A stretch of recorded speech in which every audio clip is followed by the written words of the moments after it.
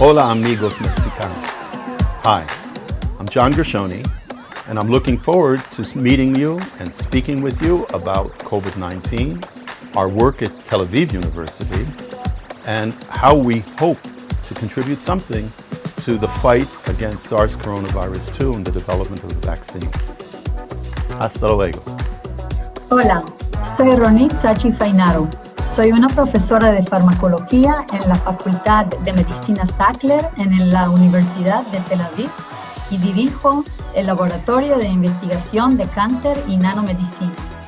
En mi charla, en el Día de la Innovación, hablaré sobre la forma que mi equipo y yo convertimos una vacuna contra el cáncer que desarrollamos durante los últimos cinco años en una vacuna contra el COVID-19. Nos vemos pronto.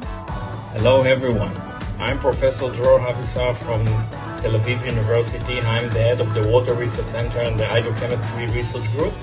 And I will be happy to talk with you in the conference on uh, water pollution, how to treat persistent compound, I will present several innovative technologies, how to break down um, some persistent compounds from uh, wastewater and effluent, and I'm looking forward to talking to you. Hi everyone, my name is Nimrod Cohen. I'm the managing partner at Tau Ventures, and now I'm going to talk to you about the story of creating Tau Ventures as the first and only VC in Israel founded by a university. See you soon.